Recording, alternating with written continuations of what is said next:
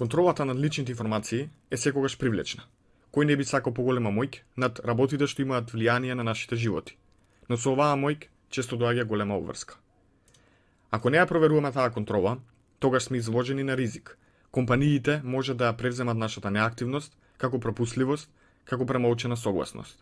Тоа доведува да не ги заборавиме да ги прилагодиме поставките за приватност на нашите апликации, како Facebook, Instagram, Twitter, Google, Amazon, Netflix, Snapchat, Microsoft, Siri, Cortana, Viber, Candy Crush, паметниот телевизор, Wi-Fi во автомобилот или пак некој паметен гаджет на нашите деца.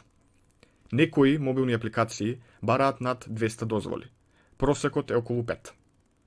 Начинот на кој технологиите се направени може да влијае на нашата приватност.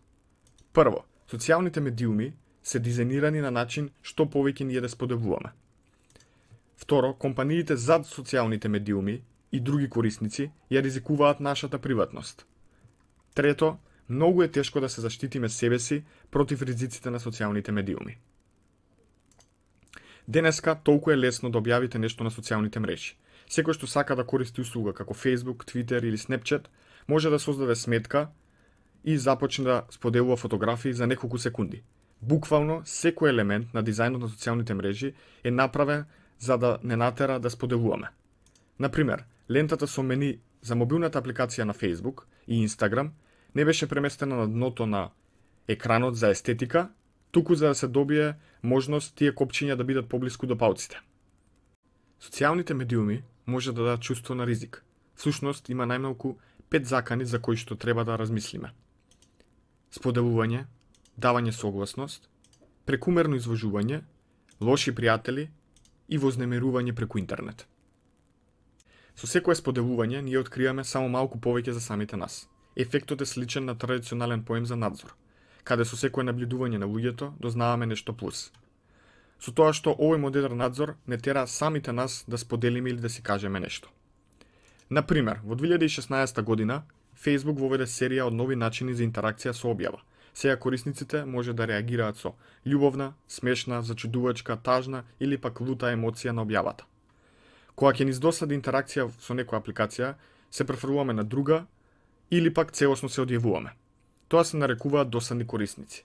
Заинтересираните корисници кои продолжуваат да објавуваат или произведуваат податоци се викаат интересни корисници, бидејќи со нивното споделување други луѓе стануваат заинтересирани за нивните објави и така во круг.